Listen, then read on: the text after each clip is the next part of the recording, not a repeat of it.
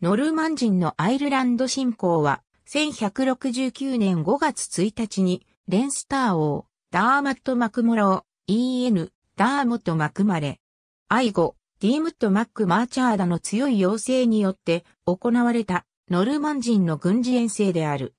それは、ヘンリー2世による1171年10月18日の遠征を引き起こし、結果的にアンジュー帝国によるアイルランド卿支配体制の始まりとなった。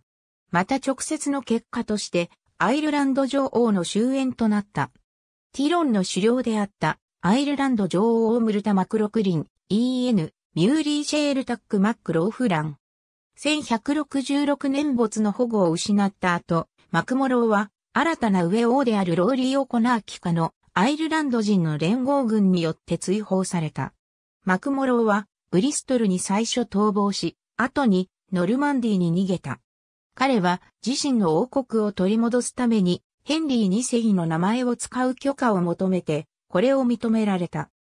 1167年までにマクモローはモーリス・フィッツジェラルドの支援を取り付け、後にレハイバースのオージレス・アップグラフィズに対して、フィッツジェラルドの異母兄弟であるロバート・フィッツ・ステファンを遠征に参加するために解放するよう説得した。最も重大なこととしてマクモローはストロングボーとして知られるペンブローク伯、リチャード・ドクレアの指示を取り付けた。最初にアイルランドに上陸したノルマン人騎士は1167年のリチャード・フィッツゴッドバード・デ・ロシュであったが、ノルマン、ウェールズ、そしてフランドルの主力がウェックスフォードに上陸したのは1169年であった。なお、ダーマットがレンスターを回復した短い間、ウォーターフォードとダブリンはその支配下にあった。ストロングボーはダーマットの娘であるイーファと結婚し、彼はレンスター王国の後継者に指名された。この後継者指名にヘンリー2世は驚愕し、アイルランドにおいて自国に対抗するノルマン人国家の成立を恐れた。そのためヘンリーは自身の権力を確固たるものにするためにレンスターに赴くことを決めた。初のイングランド人教皇であるハドリアヌス4世は彼の最初期の行動の一つとして1155年に教皇教書を発行し、教会の腐敗と乱用を抑制する手段としてヘンリーにアイルランド侵攻の権限を与えた。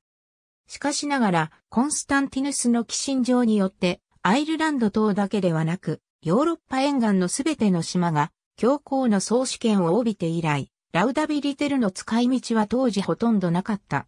関連する文章は以下である。ラウダビリテルへの言及が頻繁になるのは、チューダー朝後期に入って、ルネサンスのヒューマニズム学者によって、コンスタンティヌスの寄進状が、その指摘、確実性について疑問を投げかけられてからである。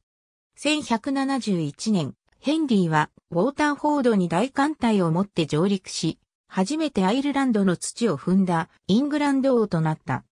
ウォーターフォードとダブリンは王領都市であると宣言され、11月にはヘンリーはダブリンにおいてアイルランドの王たちの降伏を受け入れた。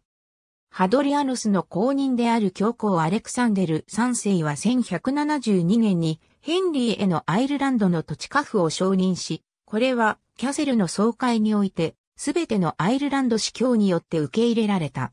ヘンリーはアイルランドの領域とアイルランド教ドミノス・ハイバーニーのタイトルをバッシジョンに与えた。後にジョンが予期せず兄を継ぎ王になったため、アイルランド教領はイングランド王の直接支配下となった。ヘンリーはほとんどのアイルランド王たちによって都合よく解釈され、彼らはヘンリーがレンスターとアイルランドのノルマン人の拡大を抑えつけるチャンスと捉えていた。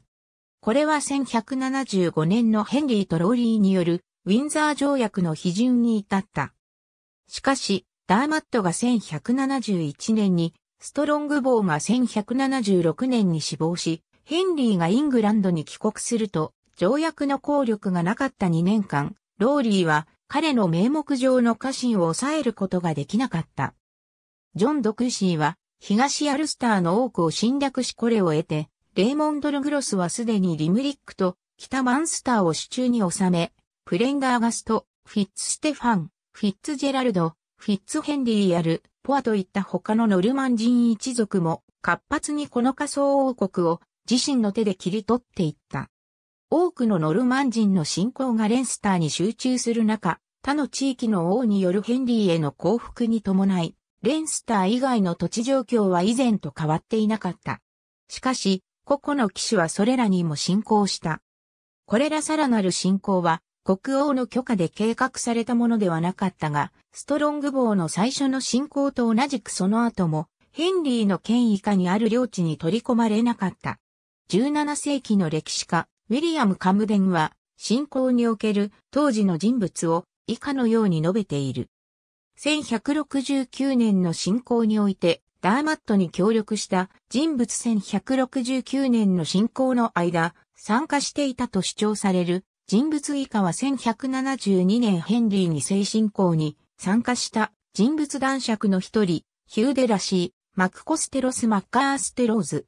マック・イスディルブヘは、この音における最初のノルマン人一族の一人であり、名誉に根を下ろし、コステロ男爵になった。彼が定住した元々の場所は、隣の県である、ロスコモン県を含んでいた。彼らは有名なギルバート・デ・ナングル、ギルバート・デ・ナングルラテン語で、デアングロ、デアングロ。彼は、最初のキャンブロ・ノルマン侵略者であったの息子である、イスディルブより、ゲール語名を取り入れた、最初のノルマン人侵略者であった。デアングロ、彼の一族はミースに広大な領地を持ち、彼らはナバン男爵であった。一族はその後レンスターとこの音に広がり、すでに見てきたように主要な一族はゲール語のその名を取ったマック・イスディルブヘを取り入れた。レンスターのそれとこの音のそれはこの形式を受け入れず、ナングルス、ナングルズ、でナグラとなった一方、コークのそれらはナグルスになった。ウォルドロン、ザ・ウォルドレンズ。マック・ブヘイルドリンは、名誉のマクコステロスの支流である。ありがとうございます。